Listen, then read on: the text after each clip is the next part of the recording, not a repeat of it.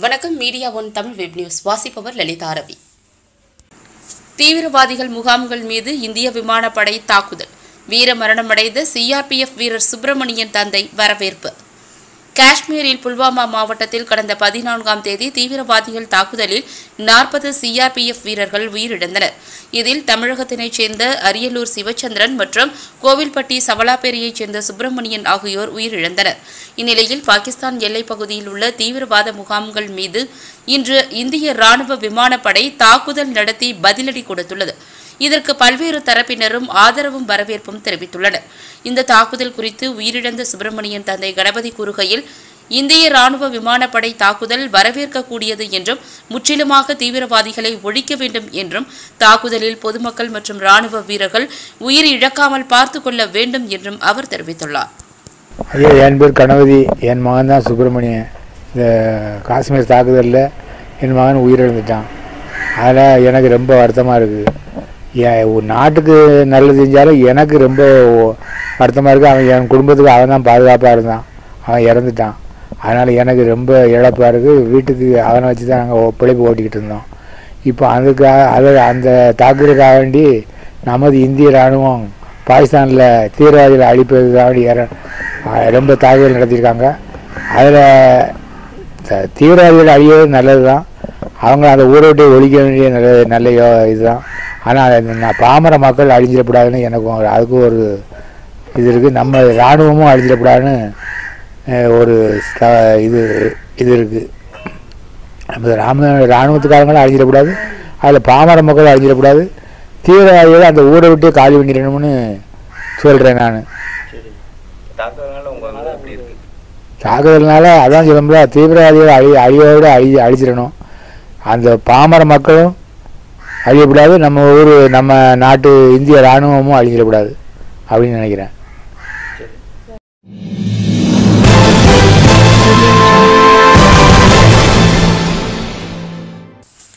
தமிழகத்தில் ஆறு மாநகராட்சிகளில் இருந்து வந்த பன்முக கால்நடை மருத்துவமனை பன்னிரண்டு மாநகராட்சிகளிலும் விரிவாக்கப்பட்டுள்ளதாக திருப்பூரில் கால்நடை பராமரிப்புத்துறை அமைச்சர் உடுமலை ராதாகிருஷ்ணன் தெரிவித்துள்ளார். திருப்பூர் மாநகராட்சியில் செயல்பட்டு வந்த கால்நடை மருத்துவமனை இருபத்தி நான்கு மணி நேரமாக செயல்படக்கூடிய கால்நடை பன்முக மருத்துவமனையாக தரம் உயர்த்தப்பட்டுள்ளது.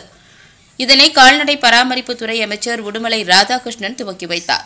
அதேபோல திருப்பூர் மண்டல நகர ஊரமைப்புத்துறை அலுவலகத்தையும் திறந்து வைத்த பின் செய்தியாளர்களை சந்தித்த அவர் ஆறு மாநகராட்சிகளில் செயல்பட்டு வந்த கால்நடை பன்முக மருத்துவமனை திருப்பூர் உட்பட பனிரண்டு மாநகராட்சிகளிலும் தரம் உயர்த்தப்பட்டுள்ளதாகவும் இதற்காக பணியாற்ற சுழற்சி அடிப்படையில் நான்கு மருத்துவர்கள் பணிபுரிவார்கள் எனவும் மேலும் அல்ட்ரா ஸ்கேன் டிஜிட்டல் ஸ்கேனர் வசதிகளும் ஏற்பாடுகள் செய்யப்பட்டுள்ளது எனவும் தெரிவித்தார்.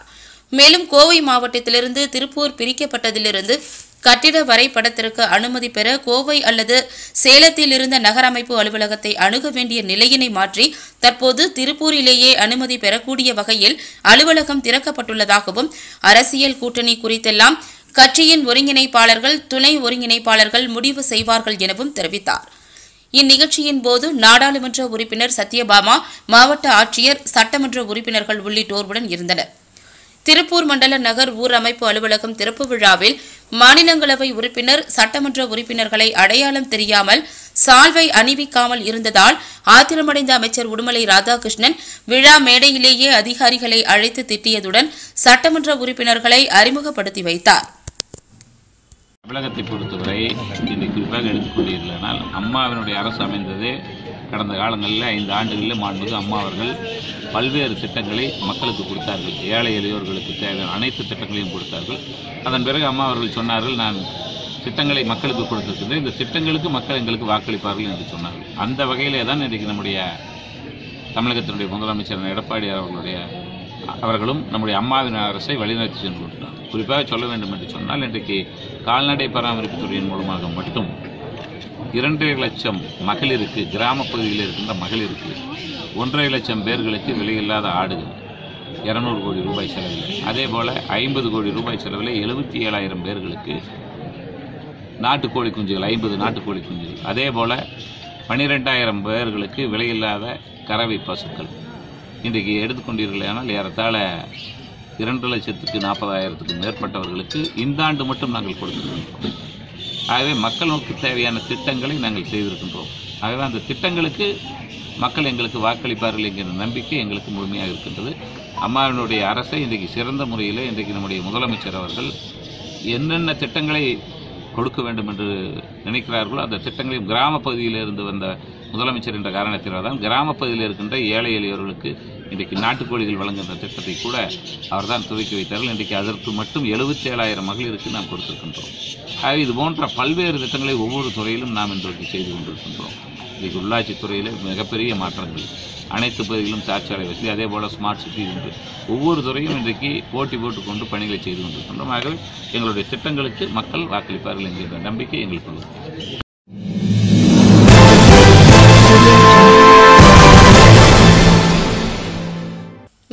தமிழக முதல்வரின் உத்தரவை எந்த அதிகாரிகளும் மதிப்பதில்லை. காத்திருக்கும் போராட்டத்தில் பாஜக எஸ்டி அணி மாநில தலைவர் ராமசாமி குற்றச்சாட்டு. வேலூர் மாவட்டம் திருப்பத்தூரில் பாரதிய ஜனதா கட்சியின் சார்பில் பழங்குடி மக்களுக்கு ஜாதி சான்றிதழ் கேட்டு காத்திருப்பு போராட்டம் நடத்தினர்.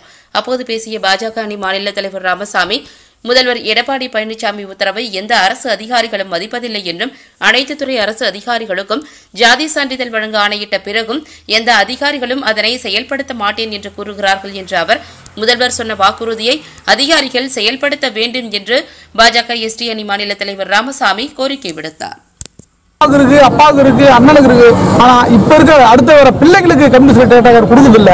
இது என்ன லாஜிக்னே தெரியல. மற்ற கம்யூனிட்டி கேட்லாம் கேட்டா கரெக்டா பத்து நாள்ல பதினஞ்சு நாள்ல அவங்க கம்யூனிட்டி கொடுத்துறாங்க ஆனா எஸ்டின மக்கள் வந்து எந்த விதமான என்கொயரியும் பண்ணாமல் ரிஜெக்ட் பண்ணுறேன்றாங்க ஓவராக கேட்டா ஆர்டிஓக்கு தான் வேலைன்னு கேட்குறாங்க இந்த ஆர்டிஓ என்கொயரின்றதால ஆர்டிஓ ரெண்டு வருஷம் மூணு வருஷம் காலம் தாழ்த்தி இந்த மக்களுக்கு கிடைக்க வேண்டிய நல்ல திட்டங்களை அவங்களுடைய அடிப்படை உரிமைகளால் தவிர்க்கப்படுது. இதை வன்மையாக கண்டிச்சு தான் இன்றைக்கி ஆர்ப்பாட்டம் நாங்கள் செய்கிறோம் இந்த ஆர்ப்பாட்டங்கள் மூலமாக நாங்கள் தமிழக கவர்மெண்ட்டில் இருக்கிற எல்லா ஆர்டிஓக்கும் சொல்கிறோம் எஸ்டிஎன மக்கள் அப்ளை பண்ண உடனே என்கொயரி பண்ணி அவங்களுக்கு கமிட்டி செலக்ட் கொடுத்தா அவங்களுடைய வாழ்வாதாரம் சீக்கிரமாக முன்னேறும். நாங்கள் பிஜேபி கவர்மெண்ட்டில் வந்து வாழ்வாதாரம் வந்து அடிப்பட்ட அடித்தட்டு மக்கள் முன்னேறணும் எல்லா ஸ்கீமும் கொண்டு வரும். ஆனா இன்னைக்கு ஆட்சியாளர்கள் இன்னைக்கு அதிகாரிகள் இந்த பழங்குடிய மக்களுக்கு கம்யூனிஸ்ட் கொடுக்கறதால அவங்களுடைய வாழ்வாதாரம் ரொம்ப கீழ்த்த கீழ்மட்டத்தில் போயிட்டு இருக்கு இப்பதான் ஓரளவுக்கு படிச்சு மேல வர ஆரம்பிக்கிறாங்க. இப்ப திடீர்னு கம்யூனிஸ்ட் சர்டிஃபிகேட் கொடுத்து நிறுத்த உடனே இவங்களுடைய பிள்ளைகள் அடுத்த ஜென்ரேஷன் பாத்தீங்கன்னா யாரும் கம்யூனிஸ்ட் கிடைக்கிறதுக்கு வாய்ப்பு இல்லாமல் போயிட்டு இதற்கான இந்த ஆர்ப்பாட்டங்கள் ரொம்ப சிவியரா இருக்கும். இதுவுமே இதுக்கு முன்னாடிலாம் வந்து பழங்குடியின மக்கள் மலையாள மக்கள்லாம் போராட்டம் நடத்தல. இதுதான் ஃபர்ஸ்ட் போராட்டம் எனக்கு தெரிஞ்சு ஒரு மிகப்பெரிய போராட்டம் இதுதான். இனிமே இவங்க போராட்டம் செய்யறதுக்கு தயங்க மாட்டாங்க. இவங்களுடைய அடிப்படை அடிப்படை உரிமைகள் கிடைக்கும் வரை இவங்க போராடுவாங்க. இது சும்மா எச்சரிக்கிறாங்க தமிழ்நாடு கவர்மெண்ட்டுக்கு இது இதுக்கு மேலே இவங்க கம்யூனிட்டி கொடுக்குறது காலம் தாத்துனா இதனுடைய விளைவுகள் ஆர்ப்பாட்டங்கள் ரொம்ப சிவியரா இருக்குன்றது நான் இது மூலமா. என்ன மாதிரி போராட்டங்கள் அடுத்த கட்ட நம்ம அடுத்த கட்ட நடவடிக்கை வந்து கலெக்டர் கலெக்டர் வந்து கலெக்டர் ஆஃபீஸ் முற்றுகையிட போறோம் இது வந்து ரொம்ப சிவியரா பண்ணுவோம். கண்டிப்பாக ஏன்னா இது வாழ்வாதாரம். அடிப்படை ம- அடித்தட்டு மக்களுடைய வாழ்வாதாரம் இந்த கம்யூனிட்டி சர்டிஃபிகேட் இந்த கம்யூனிட்டி சர்டிஃபிகேட் கொடுக்கும் வரை நாங்கள் ஓய மாட்டோம். நான் லாஸ்ட் மந்த் கூட முதலமைச்சரை வந்து சென்ட்ரல் மினிஸ்டரோட போய் பார்த்து தமிழ்நாட்டில் எல்லா எஸ்டி சைட்டும் உடனே கொடுக்கப்படுங்கிற ஒரு அவர் அஷூரன்ஸ் கொடுத்தாரு. சிஎம் அதை நம்பி தான் நாங்கள் வந்து ஆனாலும் கூட அந்த வேலூர் மாவட்டத்தில் மட்டும் சீக்கிரமாக கொடுக்க மாட்டாங்கன்னு ஒரு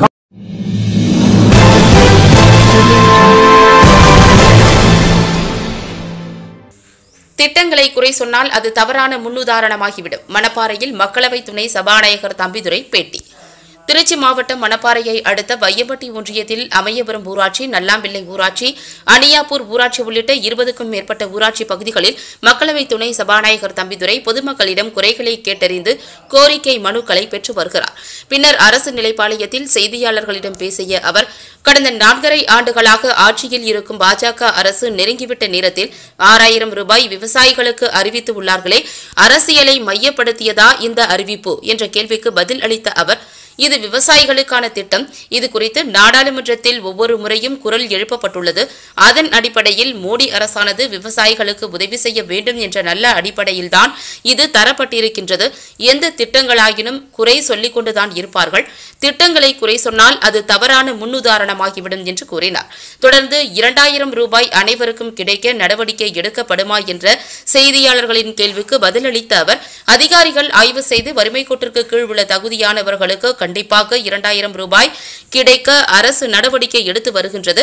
அதற்காகத்தான் மனுக்களை பெற்று வருகின்றோம் என்று கூறினார். முப்பத்தி ஒன்பது இடத்திலே தமிழ்நாட்டில் போட்டியிட்ட முப்பத்தி ஏழு இடத்திலே நீங்கள் வெற்றி பெற செய்தீர்கள் என்றால் புரட்சி தலைவி அம்மாவனுடைய திறமை மீது நீங்கள் பற்று வைத்ததன் காரணமாகத்தான் அந்த வாக்களித்தீர்கள். அதற்கு பிறகு புரட்சி தலைவி அம்மா அவர்கள் இந்த காங்கிரஸ் திமுக வரக்கூடாது என்பதற்காக தன்னுடைய ஆதரவை எதிர்கட்சியாக இருந்தால் கூட அவ்வப்பொழுது மோடி அரசுக்கு தந்து கொண்டு வந்தார்கள். அதில் சந்தேகம் கிடையாது. அதே நேரத்தில் தமிழ்நாட்டுக்கு எதனால் பாதிப்பு இருந்தால் புரட்சி தலைவி அம்மாவுக்கு அதே மோடி அரசை எதிர்த்து தான் பேசியிருக்கிறார்கள். இந்த அனைத்து இந்திய அண்ணா திராவிட முன்னேற்ற கழகங்கள் ஒரு தமிழ்நாட்டிற்காக தமிழ் உரிமைகளை பெறுவதற்காக. தமிழ்நாட்டில் வந்து இந்த திராவிட இயக்கம் உருவாக்கிய தந்தை பெரியார்கள் உருவாக்கினார்கள். தந்தை பெரிய உருவாக்கியதுக்காக ஜாதி மதம் இருக்கக்கூடாது. நாம எல்லாம் சகோதரர்கள். இந்த ஜாதியின் பேரால் மதத்தின் பேரால் நாம விடு- வேறுபடக்கூடாது என்பதற்காகத்தான் பெரியார் அவர்கள் அந்த இயக்கத்தை உருவாக்கினார்கள். அதற்கு பிறகு பேர அண்ணா அவர்கள் திராவிட முன்னேற்ற கழகத்தை ஏறு உருவாக்கி இதே திருச்சி மாநாட்டிலே தீர்மானம் கொண்டு வந்து தேர்தலில் போட்டியிடலாம். தேர்தலில் போட்டியிட்டு நாம் மாற்றங்களை கொண்டு வரலாம் என்பதற்காக ஜனநாயக முறையில் போராடுவதற்காக பேர் அண்ணா அவர்கள் தேர்தல் போட்டியிட ஆரம்பித்தார்கள். பல்வேறு வெற்றி பெற்றார்கள். வெற்றி பெற்ற பிறகு அவர் அந்த பல்வேறு காலகட்டங்கள் பார்த்தால் நீதி கட்சியிலிருந்து பார்த்தீங்கன்னா பின்தங்கிய நம்முடைய மக்களுக்கு இடஒதுக்கீடு கொடுத்து அவர்கள் முன்னேற வேண்டும் என்ற உரிமையை கொண்டு வந்தவர்கள் தந்தை பெரியார் அவர்களும் பேர் அண்ணா அவர்கள் கொண்டு வந்தார்கள். அதைதான் புரட்சி தலைவர் அவர்கள் 59 69 சதவீதமாக நம்முடைய பி- பின்தங்கிக்கும் எல்லோருக்கும் ரிசர்வேஷன் கொண்டு வந்தாங்க. அதற்கு புரட்சி தலைவி அம்மா அவர்கள் ஆட்சிக்கு வந்த உடனேயே அதை சட்ட ரீதியாக மாற்றுவதற்காக பாராளுமன்றத்திற்கு அந்த கருத்தை சொல்லி அங்கிருக்கின்ற நாடாளுமன்ற வற்புறுத்தி நாடாளுமன்றத்தில் அதற்கு ஒரு அங்கீகாரத்தை வாங்கி கொடுத்த புரட்சி தலைவி அம்மா அவர்கள் சமூக நீதி காத்த வீராங்கனை என்ற ஒரு பட்டத்தை வாங்கினார் என்றால் நம்முடைய சமுதாயத்திற்காக தமிழ்நாட்டு மக்களுக்காக ஏழை மக்களுக்காக இவர்கள் எல்லாம் ஜாதி மதம் இருக்கக்கூடாது என்பதற்காக